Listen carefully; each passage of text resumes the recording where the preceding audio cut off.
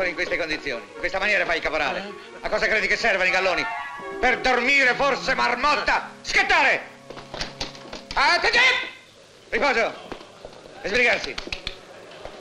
Non c'è tempo da perdere qui. Vi avverto che il primo che arriva ultimo alla dunata andrà a finire dentro insieme a tutti quanti gli altri. Avete sentito?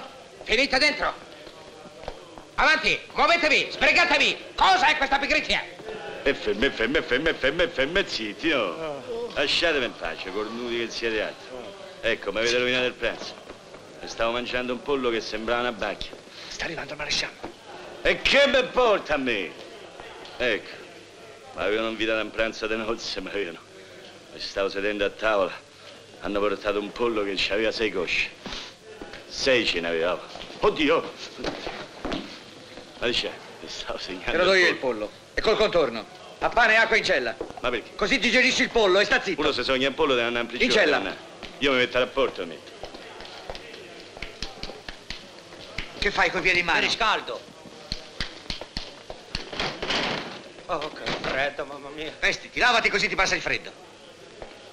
Chi è questo lavativo? Il marchese Frederick de Ricourt, quattro giorni di riposo in branda. Ah già, sarà stanco, c'è stata festa a casa del maggiore fino a tardi. Scattare! Sì o sì?